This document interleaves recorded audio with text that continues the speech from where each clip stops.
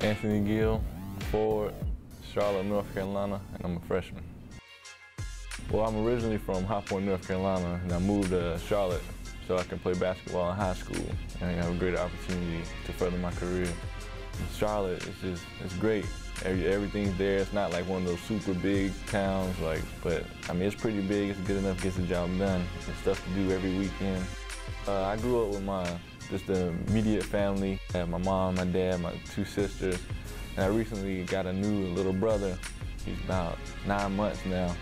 His name's Daxton. He's a pretty cool guy. Can't really talk, but he's good.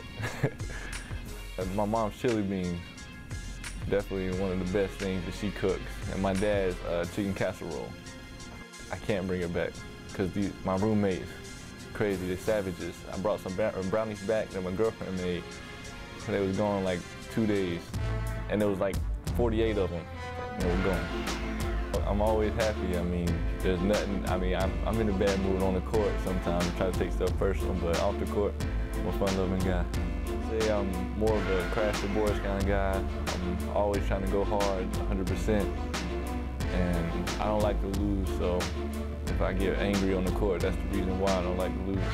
Anthony Gill, my teammate, is strong. He never stops working. Every rebound, he wants to get it. And what I like about him is when we practice, he doesn't call foul. He plays through everything, all the contact. I'm getting a lot better. I can definitely feel myself improving.